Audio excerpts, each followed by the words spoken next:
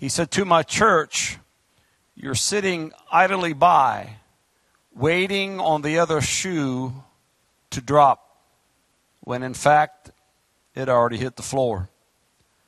The flood waters of dangerous days has already reached your doors, and many, listen to this, are waiting on rescue.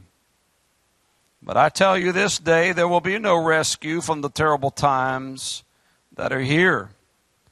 You're in them now. And you are the ones that I've appointed to be the rescuers of the drowning in their own folly and sin. Why does my church desire so much to escape when I need her the most? This will not be an evacuation from these days, but the precise execution of my will and ways. I have saved the best for the last days. You are preserved to persevere. Don't give up now and never give in. The final harvest is in the final tribulation. Father God, thank you for this opportunity to speak your word today. I ask for you to hide me behind the shadow of the cross that no man will remember my name, nor the name of this church, but remember the name that's above every single name, that at that name every knee will bow and every tongue will confess. Holy Spirit, do what only you can do, and that's convince and convict men and bring them into a saving relationship of Jesus Christ. In Jesus' mighty name, everybody everywhere said amen. I desire for you, when you have the opportunity to re listen or reread those words, they're very powerful, and I think just consuming it one time, you don't get the totality of what the Lord is saying. But I will set up this message by telling you that there are many in the church today who are looking at the times that we're living in and not understanding them in totality because they have been taught by their preachers and their Sunday school teachers of the past that everything's going to be rosy and that we're going to fly, fly away, little birdie, and that there will be no trials and tribulations and testings and hard times in our lives because we are Christians. Liar, liar, your pants are on fire. The reality is that it gets harder and harder as we go into the final days of humanity. And we're watching page after page of not only the word being revealed, but life in general of the totality of where we really are. And how many all know we haven't been evacuated yet?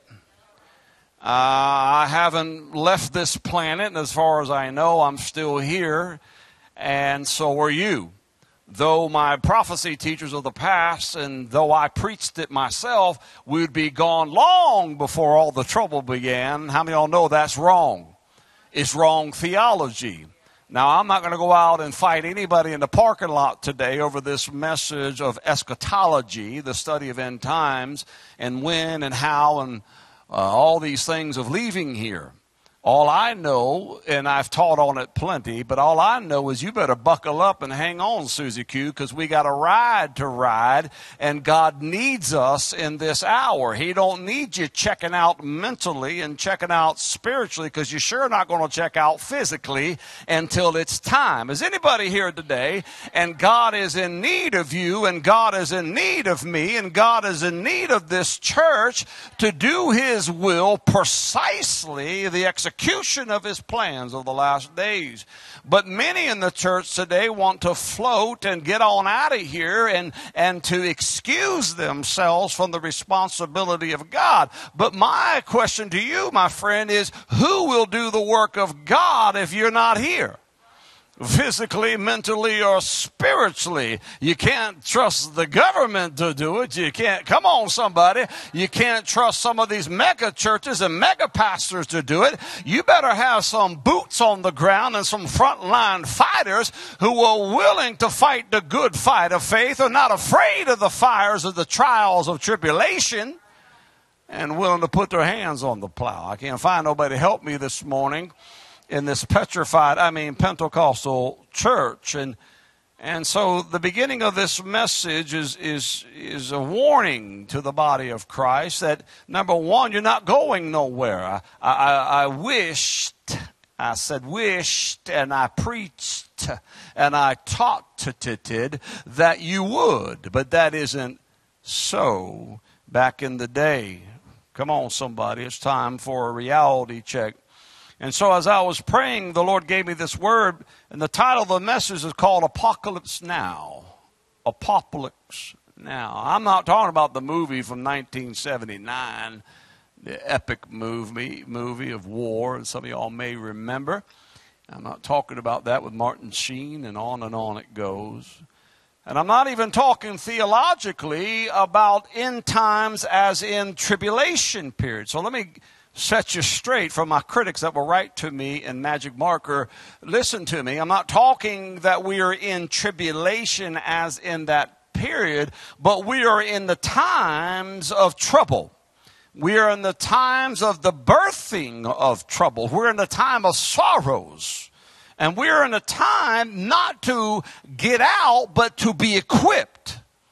It's time for us to see the strategy of God and the war plans, if you will, of what God is going to do in and through the church and to prepare ourselves and to go into basic training. Come on, somebody, to get your bayonet ready, to get your spiritual armor on and get into the war that's in front of us. And the war I'm talking about is not with bombs and bullets and missiles. I'm talking about the war war of the spirit, of the war of endurance. So many folks today are falling and falling back and failing and failing in their walk with God because they, they want to know where the coming of the Lord is and where is this great escape and where all these promises that were promised to us by our preachers. I'm here to tell you those are fables and those are nothing but wish sows. The reality is we're going to be on the ground for a while. Look at your neighbor. We're going, we're ground troops. We're going to be here for a while. We got some duty to do. We got some work to do. We got some fighting to do.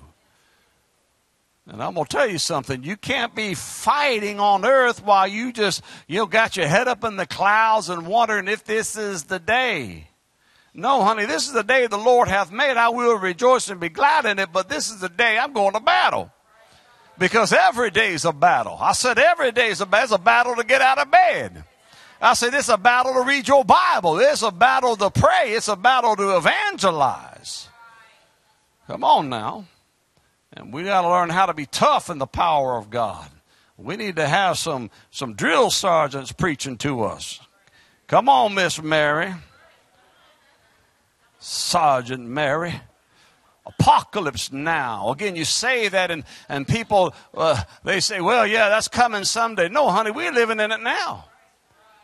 Apocalypse is talking about trials. It's talking about dangerous times. It's not just talking about a time period of tribulation. Again, I, am not getting into the eschatology of it all. I'm getting into the reality of it all that we're living in dangerous days.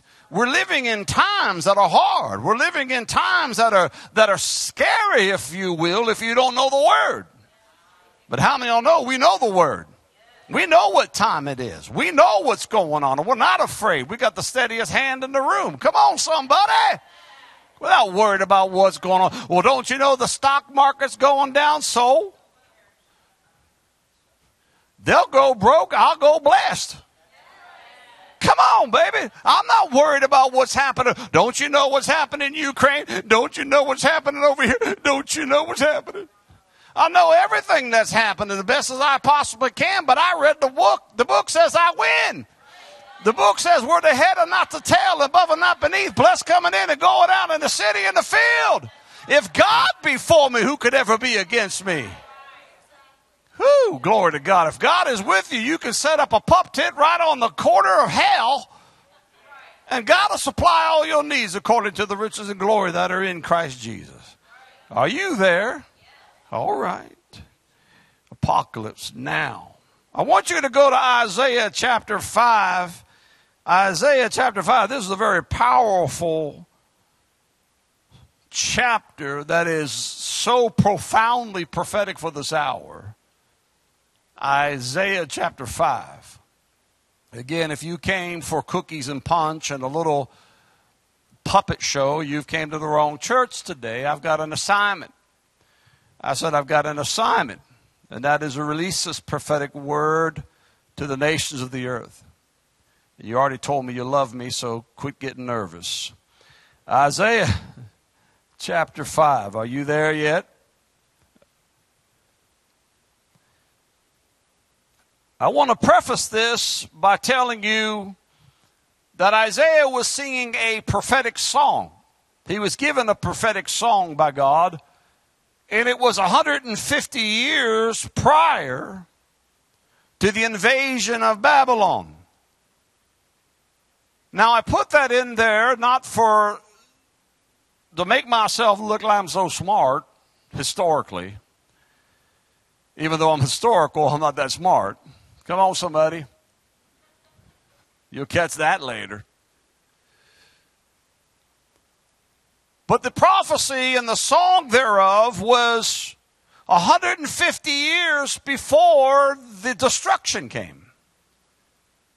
And see, in America and the world, really, when we hear prophetic things and they don't come to pass like right at noon, we don't think it's going to happen at all.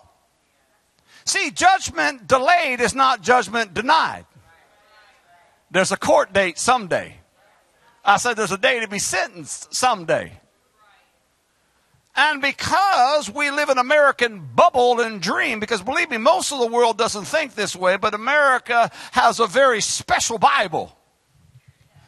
We have a synthetic Bible. We have a Fantasy Island Bible. We have a Bible written by Disney. And it's a happy, happy fairy tale ending. Come on now. But in reality is that's not how the book is read. The book is read that many are the afflictions of the righteous. Trials and tribulations are going to come your way. That endures to the end uh, shall be saved. Not he that slides in and thinks everything's going to be fine. He that endures. There's a doctrine of endurance we don't talk about anymore because we believe in our church, especially in the Bible belt like this area, the buckle, we think that we are preserved from things. I'm preserved from hell because I gave my name, my life, and my name is written in the Lamb's book of life. I, I'm preserved from those things, but I'm not prevented from going through hell. Listen to me now. Being born again doesn't mean I'm going to have wonderful days and singing a tune at noon because everything's clear and sunny and wonderful and everything's just going my way and paychecks are flying in and come on now got Bentleys parked out front and King Ranchers and whatever else you may own and all these things. That isn't a guaranteed life of a believer. The guaranteed life of a believer is to fight the good fight of faith. That the enemy will come and do what? Try to steal, kill, and destroy. But Jesus came to give life, life more abundantly. That doesn't mean there's absence of war.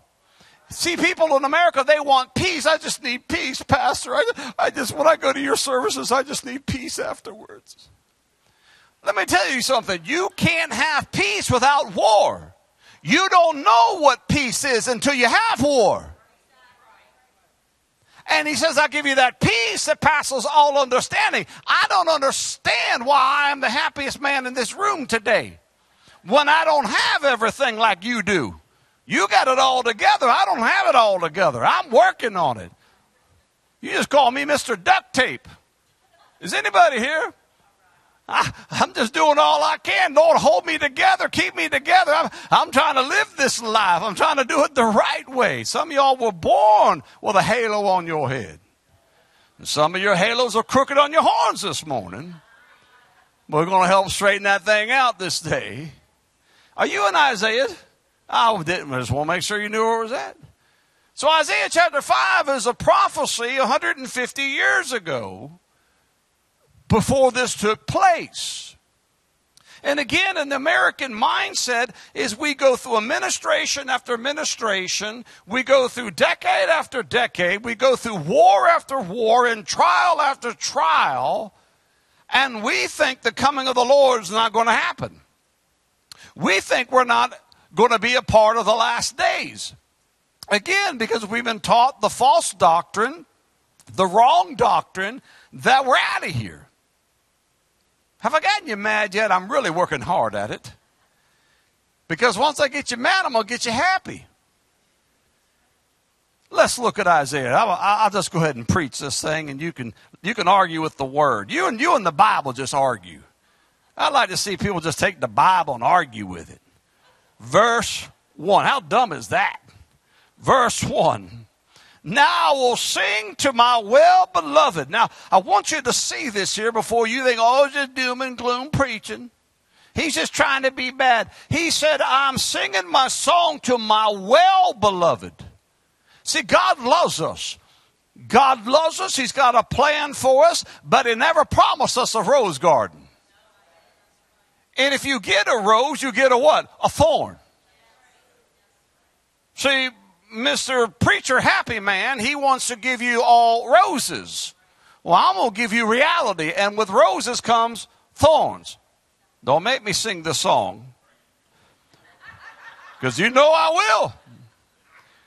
Now I will use, watch this, I will sing to my beloved a song of my beloved touching his vineyard.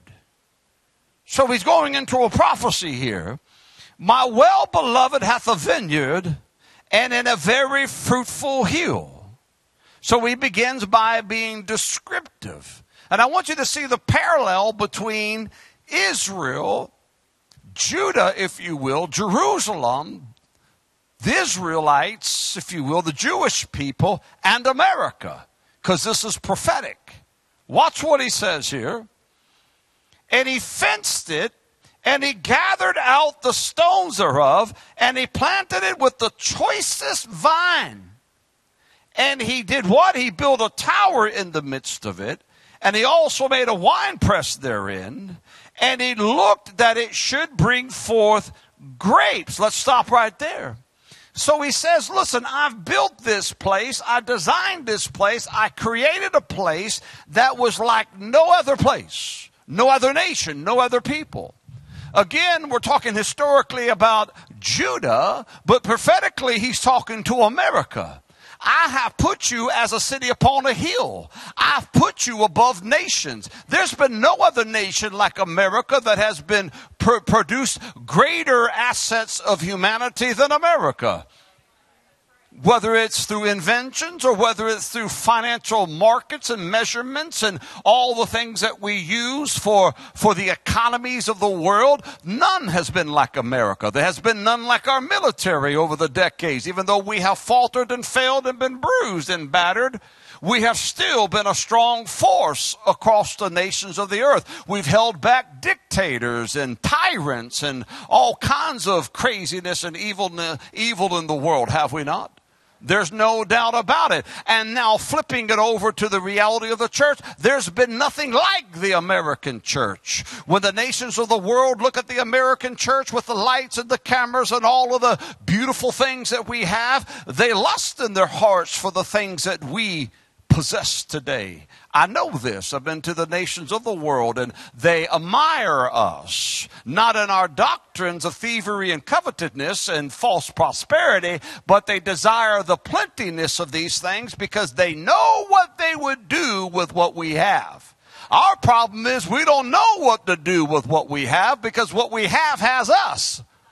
Is anybody in this house today and therefore the church has become weighted down by prosperity and has been polluted by these things when it wasn't meant to be that way. And so God looks across the landscape of America and he says, sees the big churches and the big steeples and the big peoples. Come, on, somebody. That's inside the house of God. And he says, I've given you everything you need to succeed. There is no reason in my mind why this church, the Church of America, should not be flipping the world upside down and preaching the gospel of Jesus Christ to the four flung quarters of the earth. There's no reason. Here in America today, we spend more money on dog food than we do world missions. It's a shame.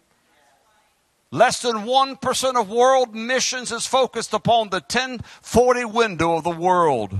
Less than 1% go to places such as India, the places where nobody has heard the name of Christ yet. Yet we're wanting to get out of here. Let's travel. Let's go. Let's rapture. Is anybody with me? Who's going to evangelize them? Who's going to preach this blessed message? You are. I'm glad you asked. You are, and I am. But he looked across this landscape. He said, Man, I gave you all this stuff. I even put a tower in the middle. What's he talking about? He is your high tower, isn't he? I said, He is your high tower. What do you need a tower for? To look over your enemies. Watch out. How many of y'all know if you're higher up, you can see further? You can see better. God said, I was your tower in the midst of your land. I blessed you. Again, America was a place of the fruited plains, a place of great liberty and great uh, prosperity and blessings, but it's become a hellhole. I'm going to say it if you don't like it, it's become a hellhole. The Bible declares that any nation that forgets God will be turned into hell. And we have forgotten God. We've rejected God. And don't blame it on an administration. We've been doing this for a long time. We've been doing it before any Pinocchio got up there in the White House. Don't make me get political. Watch this. Watch this. And he looked that it should bring forth grapes. Now, watch this. Here's God. He's like, I've given you everything you need to succeed. I've, I've blessed you. I've given you finances. I've given you high powered preachers. Come on I've given you GQ Ken and Vogue Barbie, which is not me and my wife. That's not us. I'm G.I. Joe, and that's Jan right there. Maybe Tarzan on. Help me, somebody. I was going to say Tarzan on, on steroids, more like Tarzan on Twinkies. But I know who I am. Is anybody? Say, I've given you all these things. I've given you cameras. I've given you the power of media. Right now, we can be broadcasting anywhere in the world. And we are in various parts of the world right now by the power of media. Who did that? God did that. He said, I gave you these things and I wanted you to succeed. I set you up for success and you became a person that did what? He said, you sowed wild grapes. Watch what it says here. Read the Bible with me. I'm not mad at nobody. I'm not picking on anybody. Linus, put your blanket away. Watch this. And he looked that it should bring forth grapes, and it brought forth what? Wild grapes. I don't know about you, grapes already, sometimes they can be a little bitter, but wild grapes are worse. And God is looking across the nation today, He's looking across the church. He said, Man, I wanted you to produce sweet fruit. And what if you're giving me something sour, something that sets the teeth on edge? Y'all know I'm telling you the truth. You say, well, give me some examples. I don't have time, and you don't have the patience to tolerate me to tell you exactly the wild grapes that are going on in America, especially in the house of God. Will they allow anything to happen? Do whatever you want to do, live in any lifestyle you want to live, and then go ahead and make an excuse for it and say God has excused you and that Jesus, His blood paid it all, so just go ahead and do what you want to do, live like you want to live. You can have the Nike Christianity, just do it. Whatever feels good to yourself, just let it flow, let it happen, let it hang, let it flop, do whatever, because it's okay, because God's got your back. I want you to know something, honey doll. There is a payday someday for everybody, and one day we will stand before a mighty God. If you're not washed in the blood and full of the Spirit of grace and God, there's going to be a judgment for you. And the Bible said it's a fearful thing to fall into the hands of an angry God. But we don't fear God no more in America because we got wild grapes Pastor Wild thing standing up before you saying, live like you want to live and do what you want to do and it's going to be all right. I'm here to tell you as a preacher of holiness, you can't live any way you want to live and stand before a holy God. Well, you can do it, but you're not going to stand too long in front of Him. Because listen, everybody's going to go to heaven someday, but not everybody gets to stay. Is anybody with me today? You get to go to the great white throne judgment of God. But once your name is not found in the Lamb's book of life, swoop, you gone. You gone. Is anybody here? I don't want you to be gone. I want you to stay. God don't want nobody to be gone. He don't want no wild grapes. But he's got them. And let me tell you something about a good farmer. A good farmer don't allow wild things to grow. I'm about to preach this thing up in here. A wild farmer just don't let these weeds do what they want to do. I made the mistake over by my shed to let those devil weeds grow. And once they start, they become a tree. It went from a shrub to a tree. Come on, somebody. I'm going to have to get me some Tannerite and blow that stuff up. All my redneck buddies said, Yeah, coming over. Some of y'all don't know what Tannerite is. You live in the city. Look it up. I can't help you. Can't teach everything tonight. This morning, watch this, verse 3. And now, apocalypse now, now, and now, O inhabitants of Jerusalem and men of Judah, judge, I pray you, between me and my vineyard take this word and make a judgment. Now, this, I'm going to break these glasses. Goodness gracious. I want you to take judgment. I want you to take my word in the vineyard. I want you to take what I have said and what you see. I want you to take what's happening outside here in America and compare it to what the Word said would be in the last days. And you now be the judge. See, Christianity and end time prophecy is so easy to understand. You just need a six foot icicle to stand up before you on Sunday morning to muddy the waters and mess it up. Instead of reading the Bible for yourself. See, this Bible was written that a child could understand it.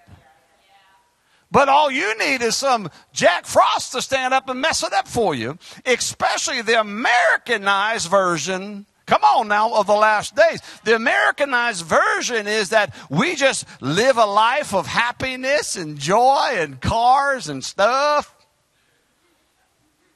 And wait.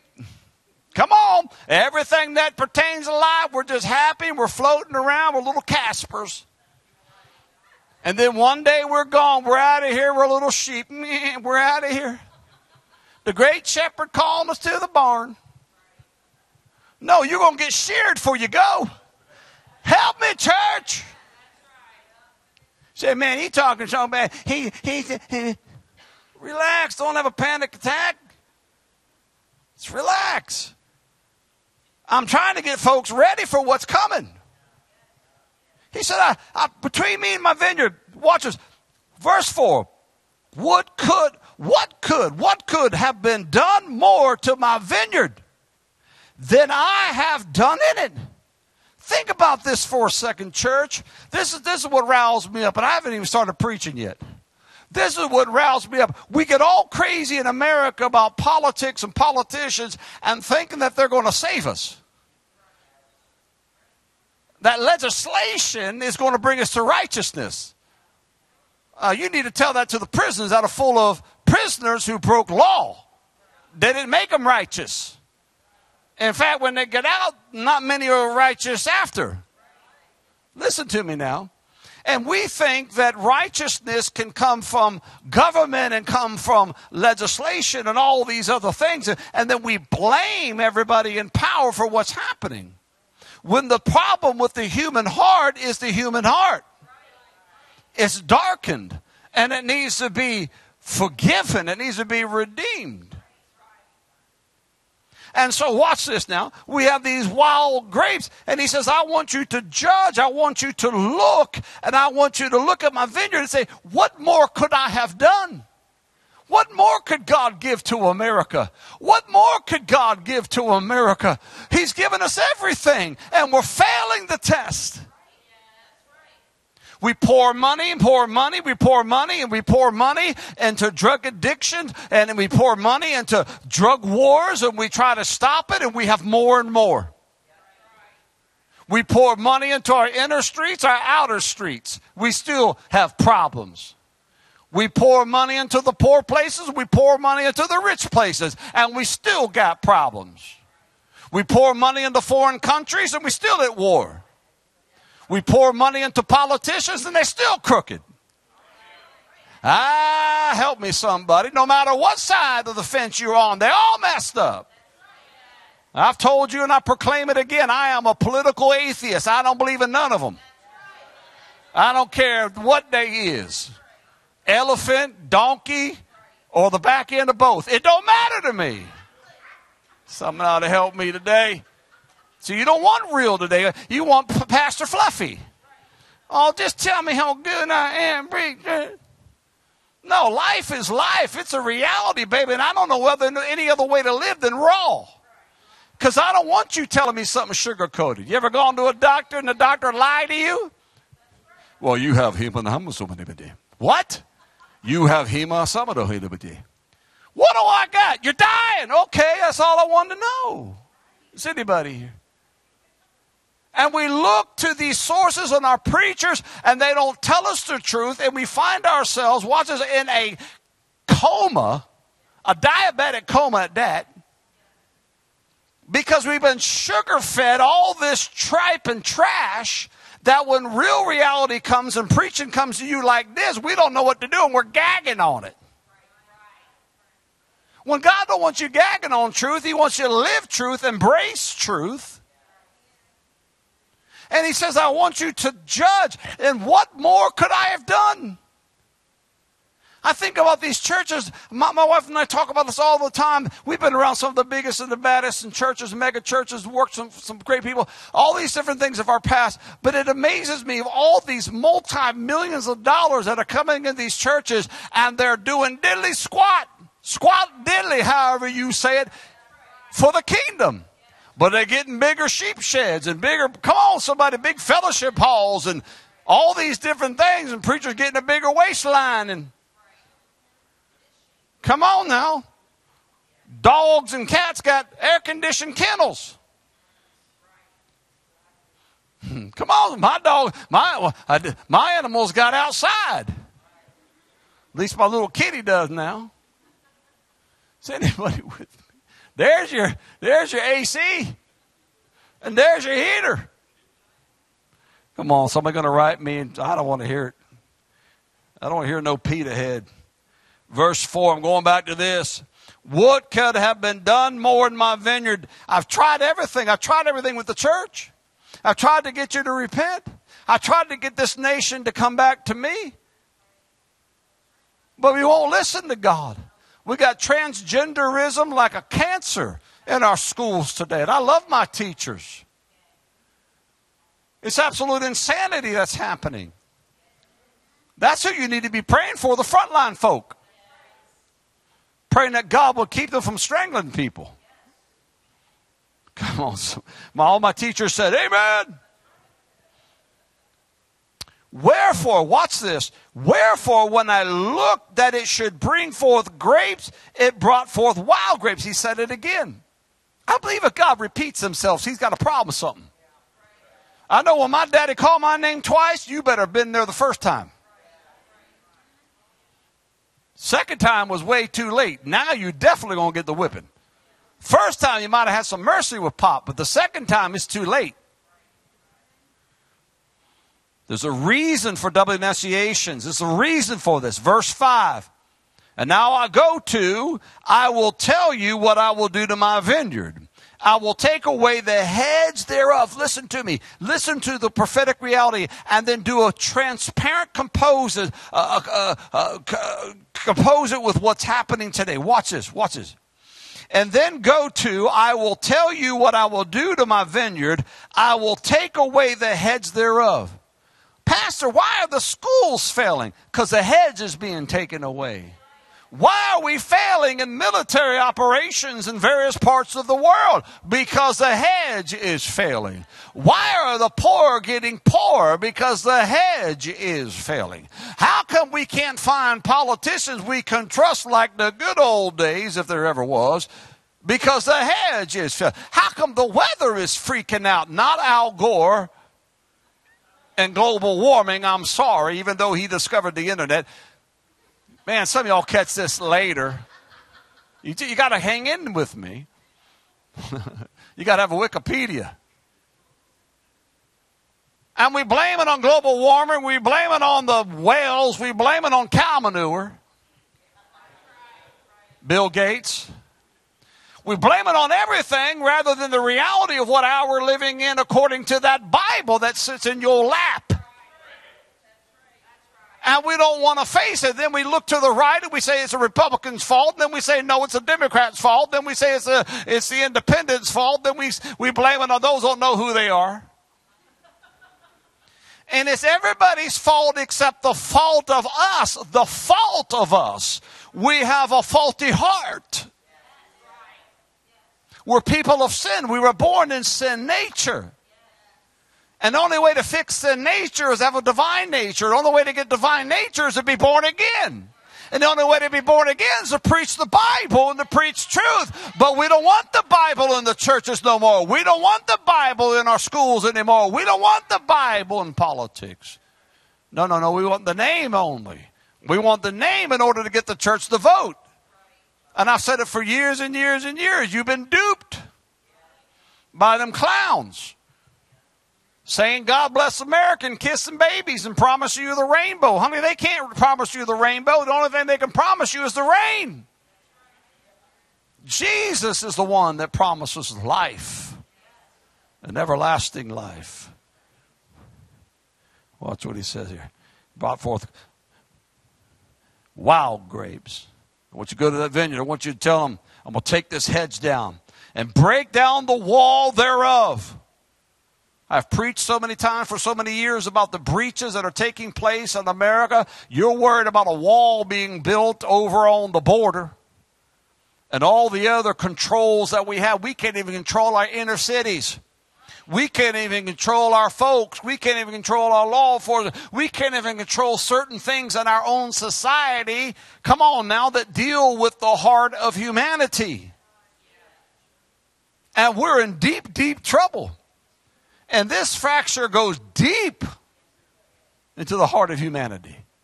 And this is exactly what Jesus said would be the condition of our day. But somehow Puff the Magic Dragon preacher gets up on Sunday morning and he blows out some type of magical dust that everybody goes, wow, this is not really happening. Everybody's on shrooms. And you think I'm kidding you? You know I've already preached on churches that smoke dope and do shrooms. They got a revelation.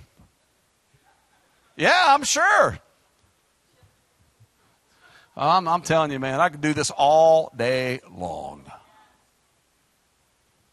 If I wasn't for time constraints for radio, I would do it all day. Just preach, preach, preach. See anybody? Because we're in a stupor. We're in that diabetic coma, by the way. I'm not making fun of anybody has that situation, but you know how it is that glazed donut look. Kind of like you all give me around 12. Oh, very close to that. The eyes flutter back. And, and he ever, is he ever going to shut up? No. I just got to start. We only in verse 6. And he said, He shall be eaten up. Watch us break down the walls thereof and shall be trodden down. Why are we trodden down? Because we left God. Why are they freaking out in Atlanta right now? Because we've left God. Why'd they kill 10 folks in a mass murder over in LA? Because we've left God. How come we're seeing over in, in Kensington, uh, uh, Pennsylvania or, or Philadelphia, how come we're seeing zombie land where people are running around with a new drug called Thang that is mixed together with trans, uh, tranquilizers and f- fentanyl It's the newest. Go watch the video. If you got the stomach, no, church I would do it. No, don't show that to me, Pastor. It's amazing to me. Church folk don't want to hear certain things, but they go home and watch it. How dare he? You know I'm telling you the truth. But then the church, we get fake. Come on now. We go in our glove department, as soon as we pull in, we open up the glove department, we pull out the fake church face. The permagrin. How you doing? Good. Come on now. The preacher's the same thing. Pastor Permagrin. Everything, hey, it's great. Woo! And you know why they do that? Because they want your money. Come on now. I'm not worried about your money because God pays the bills, not you. I appreciate you, what you do, and all those things. Don't get nervous. We're not taking up another offering, but I'm not worried. That's why I can preach the way I preach because I'm not afraid of you. 100%. Is anybody here? I would rather, I'm going to stand before a mighty God someday. And he's going to say, What did you do with what I gave you? I gave you this vineyard, boy. What did you do with it? Well, Lord, I preached. I, I stepped on the wild grapes. Don't look at your neighbor, but you look wild today. I'm trying to stay focused here. And then he said, It shall be trodden down. You wonder why. Go, go, go look at those videos. Go see what's happening. They're calling it zombie land. They're spinning around in circles. And they're falling down. And it's happening right. They're no longer shooting up in an alley somewhere. They're shooting up right there in front of everybody. Because there's no more shame in America. There's no more shame. Love Philadelphia. Love our brothers and sisters from Philadelphia. Love those folks in San Francisco. But that place is going to hell in the handbasket. Not only, not only there, but around America. And you can pump all the money you want in there and you can vote somebody in there and say, we're going to make a change. They're not going to make a change. They're going to change your old, your old change for money, for a dollar. They're going, they're going to take from you. You understand? It's apocalypse now. We're living in tribulation times now, not theologically the end time as far as the finishing of it all, but we in the beginning of sorrows. And the church of Jesus Christ is needed now like never before. My God, I wish we had some special forces. I wish we had some black ops. I wish we had some Christians that had a backbone that are willing to go into the enemy held front lines and quit hiding behind a skirt and quit hiding behind a preacher. Listen, you live in hell, you might as well fight hell. I, don't know, I'm going to pull every hair I got left in my head out. I don't understand, folks. You're already going to walk out of this building and live in hell. You might as well fight hell. That's why I like people like firefighter Mike over there because Mike knows what's going like what it's like to go into a fire. When everybody's running from a fire, he's going in it. I know, been there, done it, did my time. And I'm still the same today. I'm not worried. Oh, don't you know the community's getting bad? So? Don't you know it's getting worse and, and there's, there's all kinds of darkness happening? So? Go into it. Go you where? Into all the world. Not just some of the world, not just the white folk world or the black folk world or the zebra folk world. Go into all the world. Ah, you ain't listening to me. Watch this. While you think about lunch. Verse 6 And I will lay it to a beautiful pasture with lilies and l- lucky charms and butterfly kisses. I will lay it to waste. What you think's happening in America? Waste. Again, I love my teachers, but they know they living in a they working in a cesspool. They contact me, they tell me.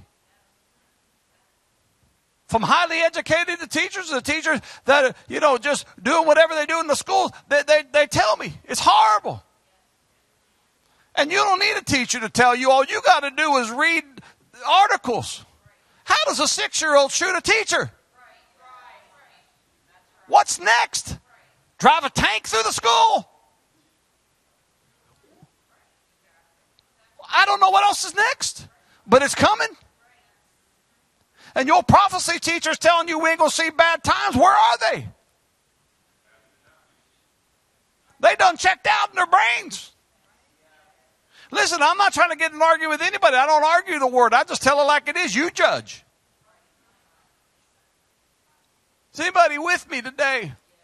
How does a child do it? And then I, I read some of these reports that says uh, uh, the six-year-old child allegedly shot. Now, I'm not very educated. Though I have several degrees doesn't mean I'm very smart. Thank you for that amen. And but when I see allegedly, it means if I it's probably the same down there in Louisiana, it means it might not have happened. Or it could have happened. Though the ladies in the hospital shot. So whether the mom came in and dad came in shot for the child, or the child shot the teacher.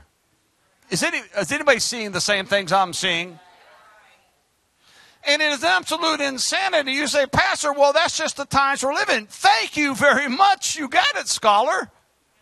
So, what does the church do? The church doesn't just talk about it and then cry about it and say, oh, well, the world's so terrible. Come, Lord, take me out of here. No, the world says, I understand it and I see it. And I'm going to work harder than I ever before, did before to try to stop the next six year old from doing it. I'm going to do whatever I can to witness to somebody. I'm going to pray. I'm going to preach. I'm going to intercede. I'm going to do everything I'm going to need to do. But no, the American church, watch this. We believe our solution is voting. We believe we're going to vote it in.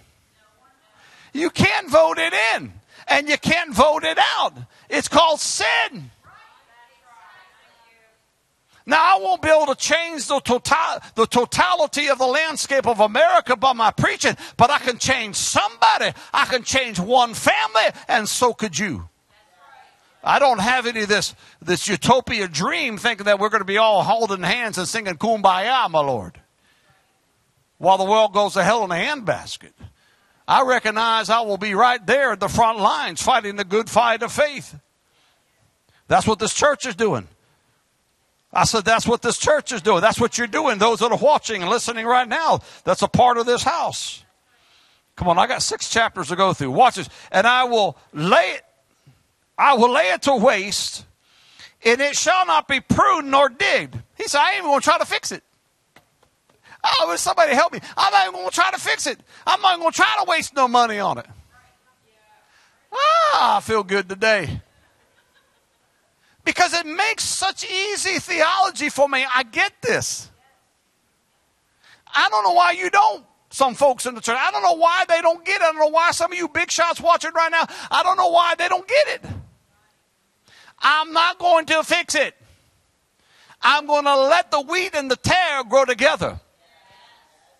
I'm going to let the whole thing come together. And then at that day, I will judge it all. The sheep and the goat. See, you're trying to fix things. I'm not trying to fix stuff. I'm trying to fix people. I'm trying to work on them and help them and feed the hungry and clothe the naked and do whatever I can for those that are in distress and disaster and bringing forth gospel truth and hope. That's my job. That's your job. But I ain't going to fix nothing. How many times you hear a politician say, You send me there, I'll fix that place up there? Ah. We're going to drain the swamp. Mm hmm. You are the swamp. You can't drain something you are. The devil can't cast out the devil. I said the devil can't cast out the devil, but we go, here we come 24. The train of change is coming, folks. Cuckoo. You've lost your brains. You've lost your sanctified head because you don't read the Bible. You listen to politicians and you listen to preachers who are paid advertisers. I'm going to break this microphone. I'm telling you the truth. These big shots that they're uh, parading around with politicians, they're getting paid to do it. maybe not in a check, but they're getting promotions, they're getting photo shots and shoots and all these different things. They're getting opportunities to hang with the big dogs. Hey, the only thing I know about a bigger dog, the smellier they are, and the more fleas they have. Though I like big dogs, by the way. Come on, I'm going to get somebody mad if I mention chihuahuas. Watch this. Flo, I ain't talking about your two inch, what's that, two inch, two ounce dog you got? That ain't no dog. But, anyways, it's a cutie pie. It's a cutie pie. Watch it. And I will lay it to waste. It shall not be, shall not be pruned nor dug. Don't be digged. Watch this. But there shall come up briars and thorns. I'm gonna let it happen. I, I, I just, I don't, I don't, I can't. I need time. I don't understand why it's happened in my community. The Lord allows it. I'm just telling you the way it is. And this will really help your theology. It really help you down the long haul as long as we have on this earth. He's going to allow it to happen. How many times you've gone to a community and saw them pick up the road mess and about a week later it's trashed again? This road is picked up by such and such Kiwanis Club. And it's right back to what it was.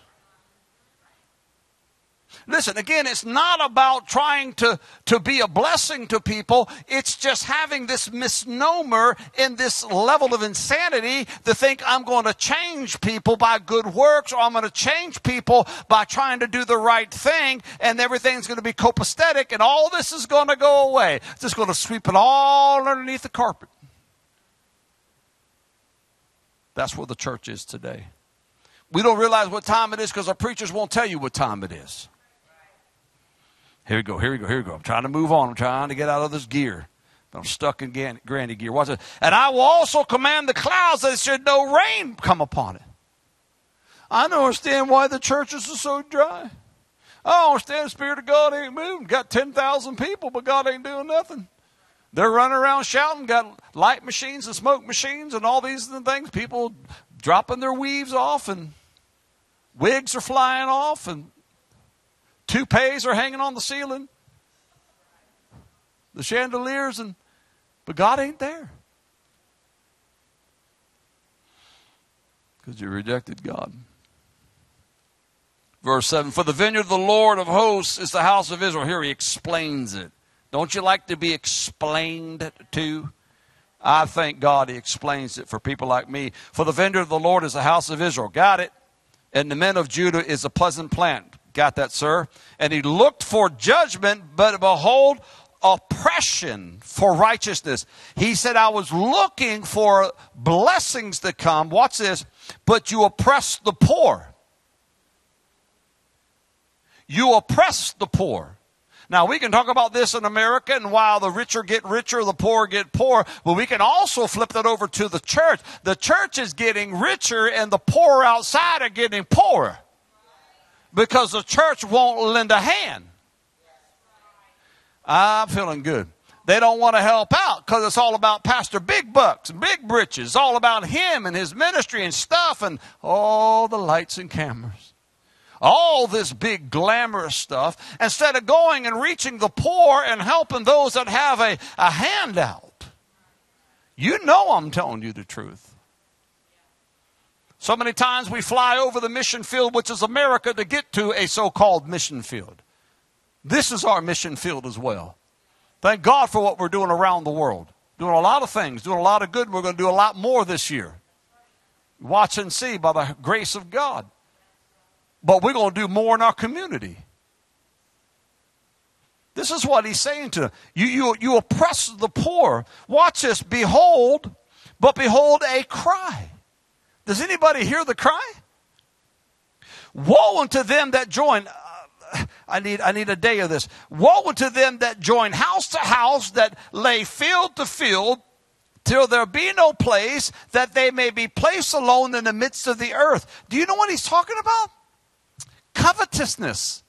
He's talking about false prosperity. He said, You guys put yourself and stuff together. You add and you add and you add and you add, and then you drive out the poor with your prosperity. That's exactly what these guys do, these charlatans, witches, and, and warlocks in these ministries when all they want is your money and they drive out the poor. Only the rich can hang out in this church, the country club church. Only the fancy ones, only the ones that drive newer vehicles. You know I'm telling you the truth and they exclude the poor and they build upon themselves more, more, more till there's no room at all. Let me ask you something. When somebody comes in to develop an area, what are the two things that are chased out? You ready? Wildlife and folks. Poor folk. And they buy their stuff at bottom dollar. Just ask casino folks.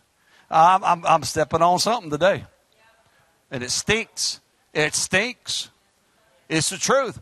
And then the lower purple person thinks they got a jackpot when the person that knows what they know got more than that. They got the whole bank. And this is what he's saying. You drive out these people. Believe me, I've been in ministries and I've been around folks, and you've been around churches that if you did you were an upper class, you didn't sit up front. Y'all forgot. Y'all forgot. Y'all need to go back to some churches. Just go visit. Just go back and visit some of them places. You didn't have the right size hat. Come on now. You didn't look right, wrong color, had the wrong accent.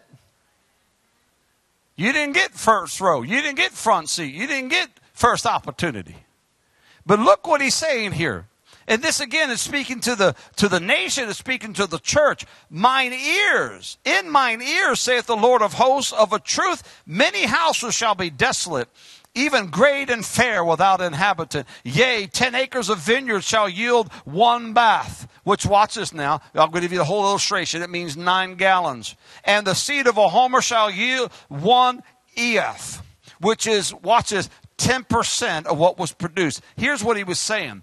He's saying you're going to have 10 acres and you're only going to get nine gallons. That ain't a good return.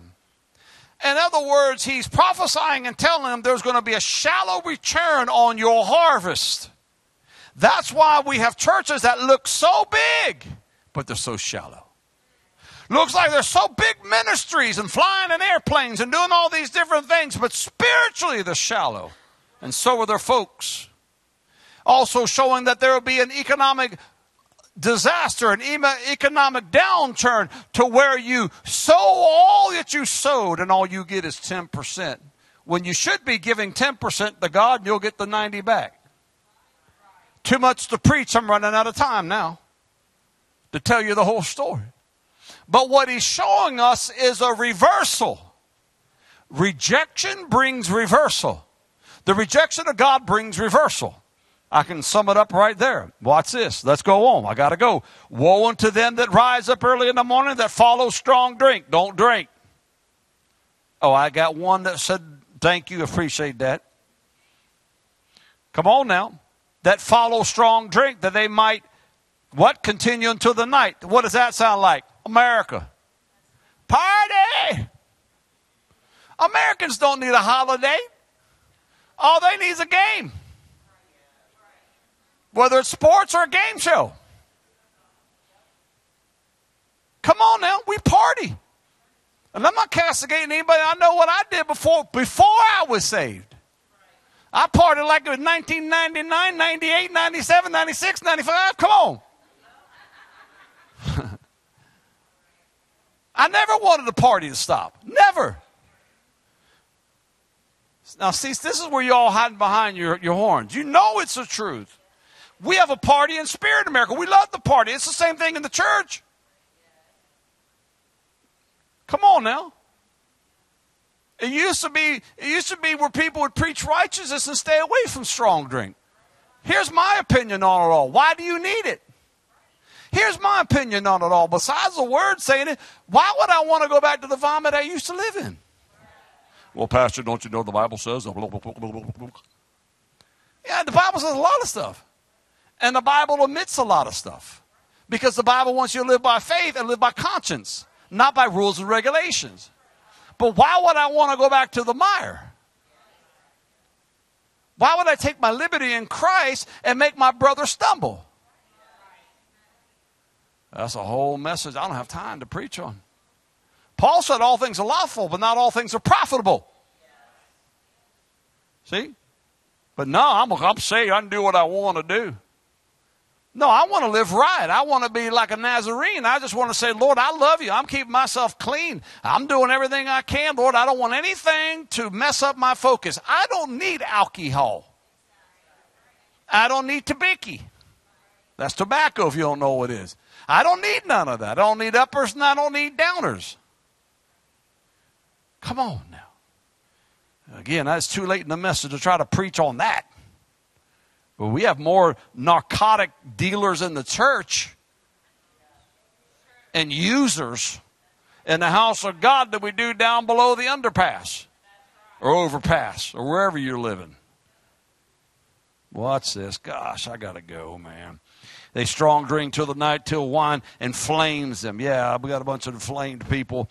And the harp and the viol and the tabret and the pipe and the vine, the wine and the bass and the thumping and the guitar and are in oh banjo. Don't forget the banjo for my brothers. Are in their feasts, but they regard not the work of the Lord. I, I gotta go. I gotta go. We want to party. And forget about everything. Forget about everything that's happening. Come on, Pastor, let's have another. Let's, let's eat some more. Let's have another fellowship dinner. Come on, let's just get together. Let's just, let's just party. Let's just forget it, man. This is the, and then forget the work of the Lord. You see, life and the world will pollute you from your focus of what God has called you to do. I'm not telling you not to live and love life. I live life. I love life. I try to live it to the fullest. Abby and I are thinking about parachuting out of a plane. When I push her, I'll see her when I land. Every time she sees something extreme sports, she's like, I want to do that. I'm like, sign here. Come on, somebody. I want to live life. I love what God has given us. I'm so grateful. But I can't allow those luxuries and those things that God has given me and given you to blind us. We can't look at what God has given us here at Ignited and what is ours is, is, is, is small compared to others, but it's ours. And we can't let that blind us and say, no, it's all about us. No, it's about the king and the kingdom and the strategy that's before us. I'm out of time and I am pouting inside. You don't know how much I'm pouting because I would love to preach this thing for the rest of this day. But you're going to have to be a Berean and go study it yourself. Everybody watching me, you're going to have to go read this and finish Isaiah chapter 5. Seriously, make it your homework. Pray about it and say, God, I see, I see the, the comparison between Israel and where we are today and you will see that God is allowing these things. And you haven't even, we haven't even walked into judgment yet of what God is going to allow on this earth. But I want you to be sober. Don't be drunk with the world, man. Be sober and realize these are sovereign times of God. These are dangerous times. And that God has called us not for us to be fearful, but to be faithful and go to the front lines and reach the world whatever it takes. If you're watching me right now and you don't know Jesus Christ as Lord and Savior, today's the day to make it right. I know there's a lot of things that are said that you may not understand, but that's okay. It's easy as this Jesus loves you, He died for your sins. All you have to do is accept Him, receive Him in your heart. The Bible declares, watch this, that your name is written in the Lamb's Book of Life. If you died today, you're guaranteed to be in heaven with Him. That's what the Bible says. And we believe that by faith. If you're backslidden, man, this has hit you and you're part of those wild grapes, it's time to get it right. Yep, you can make that bitter turn back to sweet, but you got to go to sweetness. You got to go to Jesus. He'll make that happen. Father, we love you. Thank you for the anointing of the Holy Ghost. Help us to have an awesome day. Bless all of our visitors, those that are going to be traveling, those that are watching right now. We love you and we bless you in Jesus' name. Amen. Guys, I'll see you Wednesday night. Be blessed.